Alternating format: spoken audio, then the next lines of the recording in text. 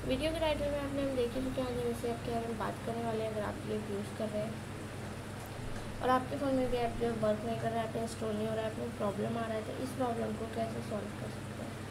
आज वीडियो में ये बात करने वाले हैं, चलिए वह वीडियो करते हैं स्टार्ट सबसे पहले जो है ऐप से आपको जाना है बैक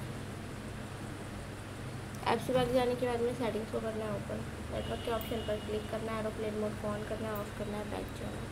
ऐप्स के ऑप्शन पर क्लिक करना है ऑल ऐप्स पर क्लिक करना है। ऊपर की तरफ़ स्क्रॉल करना है।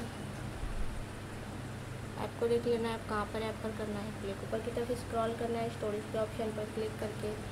क्लियर स्टोरेज पर क्लिक करना है ओके पर कर देना है क्लिक बैक जाना है परमिशन के ऑप्शन पर क्लिक करके इनको देना है परमिशन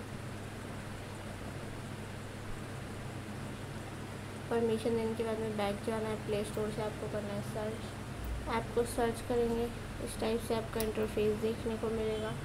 ऐप में अपडेट आया होगा प्ले के ऑप्शन की जगह पे अपडेट का ऑप्शन देखने को मिलेगा। अपडेट के ऑप्शन पर क्लिक करके ऐप को अपडेट कर लेना, आपका प्रॉब्लम सॉल्व हो जाएगा।